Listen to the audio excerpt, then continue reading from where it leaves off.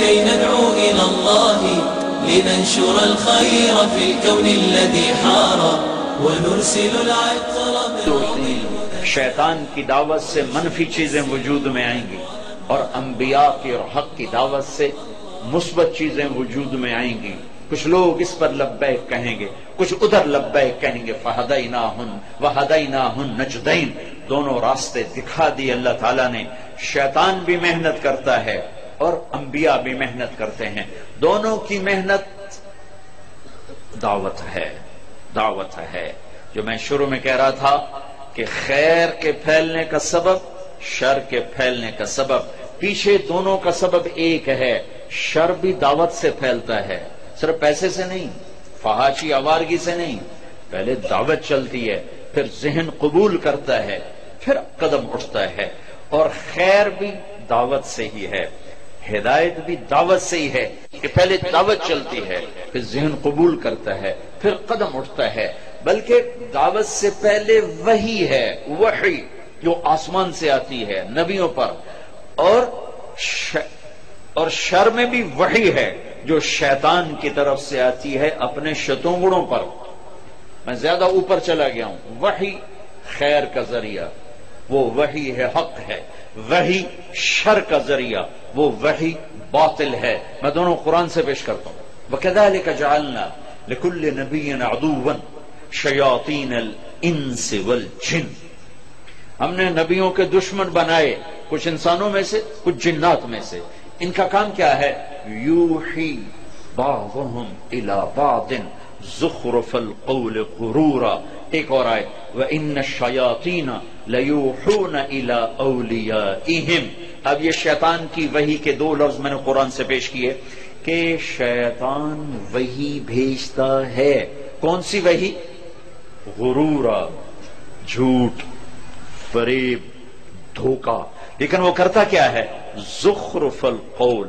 اپنی جھوٹی وحی کو اتنا خوبصورت بنا کے پیش کرتا ہے کہ لوگ خریدار بن جاتے اور تم سب اہل علم، طلبہ بیٹھے علماء بیٹھے ہو، ہم نے ابھی یہ سلیقہ ہی نہیں سیکھا کہ ہم ایمان کی دعوت کو اس خوبصورت انداز میں پیش کریں کہ اگلے قبول کر۔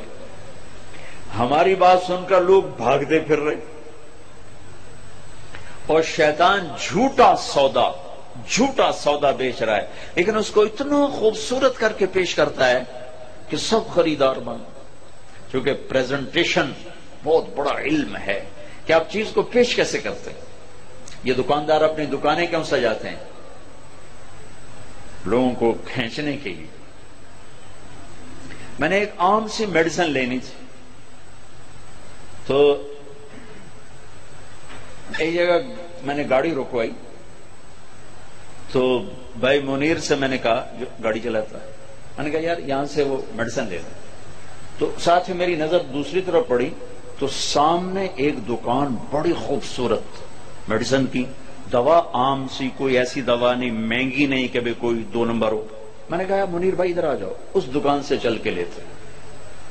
گاڑی موڑی، دوسری طرف سے گئے، اس دکان سے وہ میڈیسن لی۔ مجھے کس چیز نے کھینچا؟ اس کی پریزنٹیشن اس نے جو اپنی دکان کو پیش کیا لوگوں کے سامنے، اتنا خوبصورت تھا کہ میں وہاں سے چھوڑ کے وہاں چلا وہ بیس روپے کی دوا تھی، لیکن وہاں جانے کی وجہ وہاں چلے گئے میرے بیس روپے کہ اس نے اپنی دکان کو خوبصورت انداز میں پیش کیا۔ آپ ہجرت کے لیے نکلے ہیں تو کیا خیال ہے؟ قریش مکہ آپ کو قتل کر سکتے تھے؟ یا آپ پہ غالب آ سکتے تھے؟ فَإِنَّ اللَّهَ هُوَ مَوْلَاهُ وَجِبْرِيلُ وَصَالِحُ الْمُؤْمِنِينَ وَالْمَلَائِكَةُ بَعْدَ ذَلِكَ ظَهِيرٌ۔ تو اللہ کہہ رہا ہے کہ میں اپنے محبوب کا والی ہوں، مولا ہوں۔ تو قریش کیا کر سکتے؟ دو چار ہزار کی آبادی۔ لیکن آپ غار میں چھپ رہے ہیں۔ تین راتیں غار میں بیٹھے ہوئے ہیں۔ اور پھر راستہ بدل رہے ہیں۔ اور راستے کا جو گائیڈ ہے، رہبر ایک کافر ہے، مسلمان نہیں، کافر۔ وہ بعد میں مسلمان ہو گئے۔ جب وہ راستہ دکھا رہے ہیں، اس وقت وہ کافر تھے۔ کلمہ نہیں پڑا ان کو آپ ساتھ لے کے چل رہے ہیں۔ راستہ بدل رہے ہیں، غار میں چھپ رہے ہیں۔ تو یہ کیا ڈر تھا، خوف تھا؟ نہیں۔ امت کو سبق دینا تھا۔ کس طرح ہر حال میں زندگی کو گزارنا ہے اور ہر حال کے لیے الگ حکم ہے، الگ طریقہ اس کو اختیار کرنا یہ سمجھانا۔ تو شیط، شر کو پھیلانے کے لیے شیطان ہے۔ شر بھی شین سے شروع ہوتا ہے، شیطان بھی شین سے شروع ہوتا ہے۔ دونوں کا، دونوں کی شین اکٹھی ہے۔ شر بھی شیط، شین سے اور شیطان بھی شین سے۔ شیطان ہے شتن سے۔ شتن کہتے ہیں رسی کو، رسی۔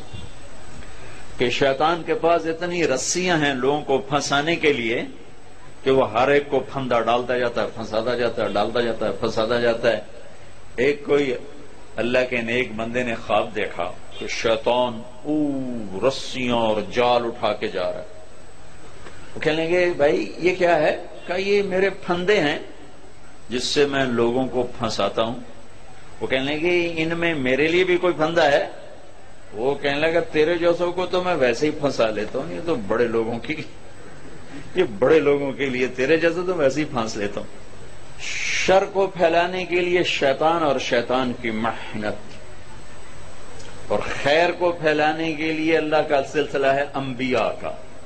انبیاء ایک لاکھ چوبیس ہزار اور انبیاء کی محنت۔ پھر جب انبیاء ختم فرما رہا تھا اللہ تعالیٰ اور اپنے محبوب پر ختم نبوت کی مہر لگا رہا تھا اللہ تعالیٰ، تو پھر ہائے نبیوں جیسا ایک مجمع، ایک لاکھ چوبیس ہزار کا صحابہ کی شکل میں تیار کیا۔ یہ عدد ایسے نہیں ایک جیسا ہو گیا۔ ایک لاکھ چوبیس ہزار نبی آئے ہیں، ایک لاکھ چوبیس ہزار صحابہ آئے ہیں۔ وہ ایک لاکھ چوبیس ہزار انبیاء کا بدل بنے۔ اور جیسے انبیاء نے دین کو خیر کو پھیلانے کے لیے ایک بے مثال محنت کی قربانی دی، ایسے ہی ایک لاکھ چوبیس ہزار صحابہ نے دین کو دنیا میں زندہ کرنے کے لیے بے مثال قربانی دی۔ یہ واحد مجمع ہے جنہیں اللہ نے زندگی میں کہا، کلن وعد اللہ الحسنہ اے میرے حبیب، میرا وعدہ ہے، آپ کا ہر صحابی جنتی ہے۔ کوئی جہنم میں نہیں جا سکتا۔ چاہے کسی نے ایک دن آپ کی صحبت اٹھائی ہو، ایک گھنٹہ اٹھائی ہو یا تیئیس سال اٹھائی ہو، جو آپ کی صحبت سے نکل گیا، ہو کے آپ کی محفل سے ہو کے گزر گیا، ایمان لے کے چلا گیا، کلن وعد اللہ الحسنہ، آپ کے رب کا وعدہ ہے، سب کو جنت دیکھ، کوئی جہنم میں نہیں جا سکتا۔ صحابہ معصوم نہیں تھے، انسان تھے۔ خطائیں ہوئیں۔